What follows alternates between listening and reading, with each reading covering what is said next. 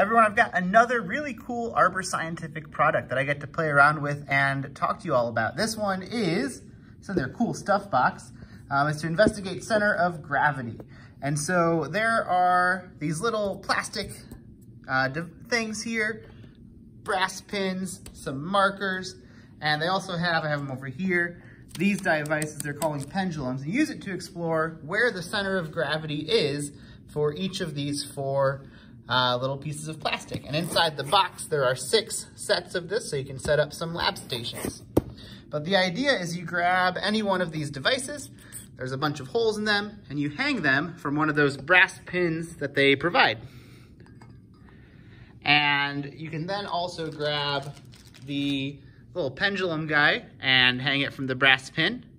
And we know the center of gravity is gonna lie somewhere on this line on object D here. So we grab that dry erase marker and we trace that line on the pendulum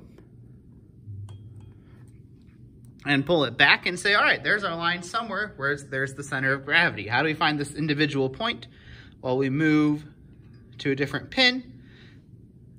We place the pendulum. The center of gravity is always going to be below where it hangs stably. So again, we can mark the line on D here and there we go. Grab one more just for the video, but you can have your students do all of the points. And again, we should see that the center of gravity lies along that line.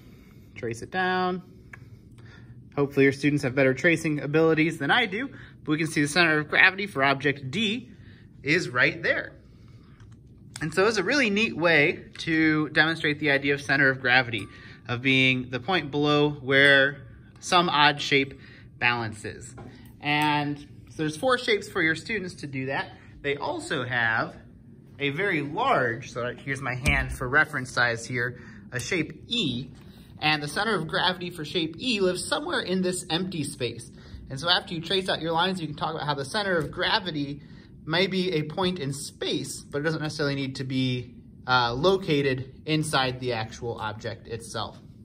So really neat way to do a center of gravity demonstration. I've seen people do similar things with cardboard before and student cutouts.